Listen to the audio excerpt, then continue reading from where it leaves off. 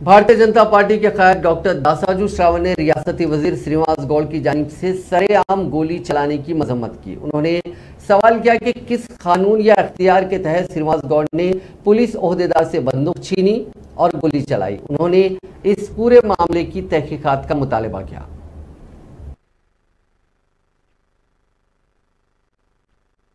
जिस तरीके से हमने बार बार दोहराया था पिछले आठ साल में कि तेलंगाना में पुलिस और टीआरएस पार्टी के एमएलए और मिनिस्टर्स का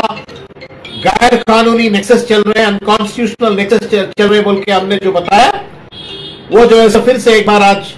महबूबनगर जिला तेलंगाना में साबित हुआ, जहाँ पर तेलंगाना के मंत्री जी श्रीनिवास गौड़ जो है सो पुलिस से बंदूक छीन कर तिरंगा रैली के नाम पर जो है सो पुलिस का बंदूक छीन कर जो है सो हवा में फायर करने की जो विजुअल्स आए हैं खुली तरीके से यह साबित होता है कि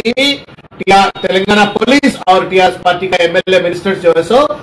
डूबियसली कनेक्ट हो गए हैं डूबियसली उन लोग जो है सो गैर कानूनी रिश्ता चला रहे हैं।